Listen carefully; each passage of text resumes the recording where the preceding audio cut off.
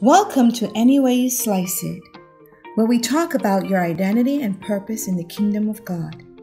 Come join author Ricardo Richardson as we slice our way to the core of God's Word to experience the beautiful and transformational discovery of who we are and why we exist, no matter how we slice it. Today's message is Counterfeit God. Beloved family, our text says, How you have fallen from heaven, morning star, son of the dawn. You have been cast down to the earth, you who once laid low the nations. You said in your heart, I will ascend to the heavens. I will raise my throne above the stars of God. I will sit enthroned on the Mount of Assembly, on the utmost heights of Mount Zaphon. I will ascend above the tops of the clouds. I will make myself like the Most High. Isaiah 14, 12 to 14.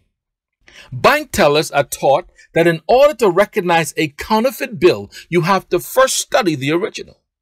In medicine, you study what is normal before you can identify the abnormal.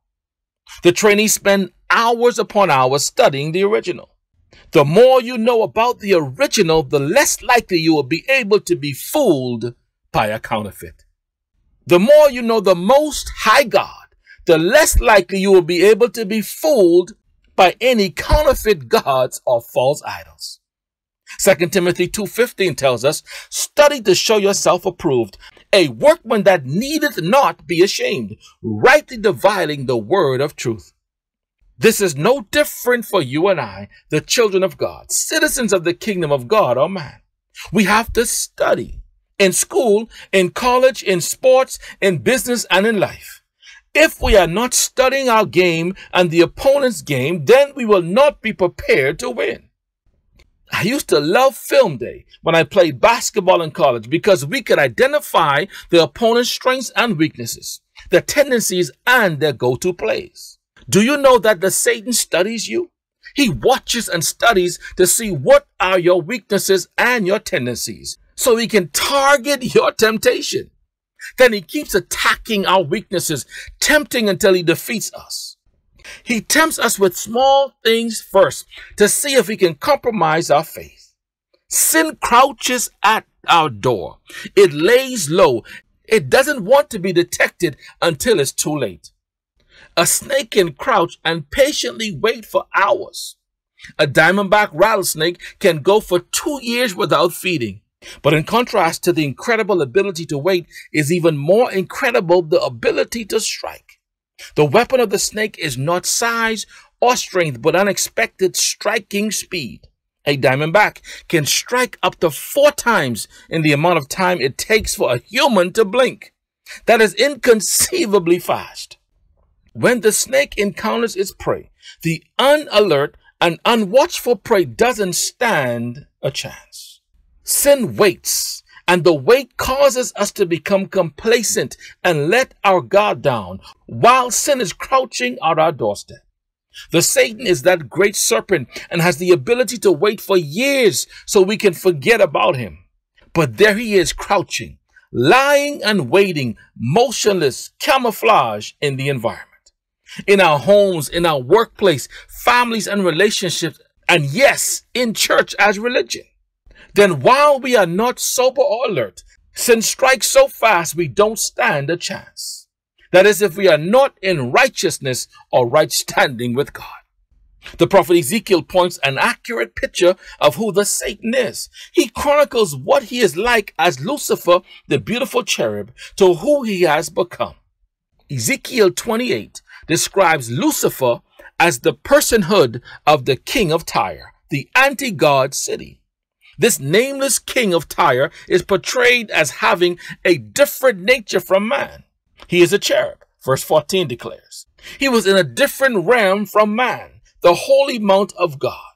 He received a different judgment from man. He was cast out of the mountain of God and thrown to earth. And how he is described don't seem to fit that of a normal human being. He's full of wisdom, perfect in beauty, and having the seal of perfection. So we can picture that the king of Tyre was none other than the cherub Lucifer. So who is Lucifer? And why did he rebel? Job 38 says, When the morning stars sang together, all the sons of God shout together. Ezekiel talks about Lucifer as the anointed cherub that was covered in topaz, diamonds, sapphires, emeralds, jasper, gold, and all precious stones. And he was full of pipes and harps to make music. Can you picture this beauty and splendor? In fact, this was the reason why he rebelled. The Bible said that he was created to worship in the presence of Elohim in the holy mountain of God, but iniquity was found in him. I can't help but highlight the comparison of how David played the harp before King Saul and his integrity and honor for God would not allow him to rebel against King Saul. Yet Lucifer in a similar role played music before King Elohim and rebelled against his king. He became proud because of his beauty and he corrupted his wisdom because of his splendor. So the sin that corrupted Lucifer was self-generated pride. Oh, help me here. I want to pause there for a moment and ask us what pride is in our life that is causing us to not serve our Creator the way He created us to.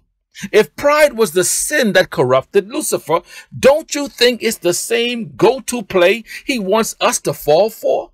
Well, it was the same deceit the serpent strike against Adam and Eve. He told them, Don't you want to be like God? It is exactly what he thought in his mind. I will exalt myself above the stars of God. I will ascend to the mountain of the Most High. In Luke 10, Jesus said, I saw Satan fall like lightning from heaven. It was God who struck back so fast that he fell from the mountain of God, the place he wanted to rule over. So he enters the earth using his corrupted wisdom to cause man to fall not from the mountain of God or heaven, but from the mountain of domain. Don't miss that. The mountain of man is dominion and authority. God gave authority to man to rule the earth, and the Satan wanted it for himself. Satan is in the earth realm, out for revenge against the sons of God. Don't get complacent, family. Watch and pray for his slightest movements as he crouches at our doors. He is roaming about all over the earth, seeking someone to devour and destroy. But you and I, let's keep focusing on our King, on Elohim, our Father God. Let's study the authentic, genuine, one true God so we can identify all the counterfeits and false gods masquerading like angels of light, when in truth there is no light in them. They are false prophets, false teachers, false idols, and counterfeit gods. Much love.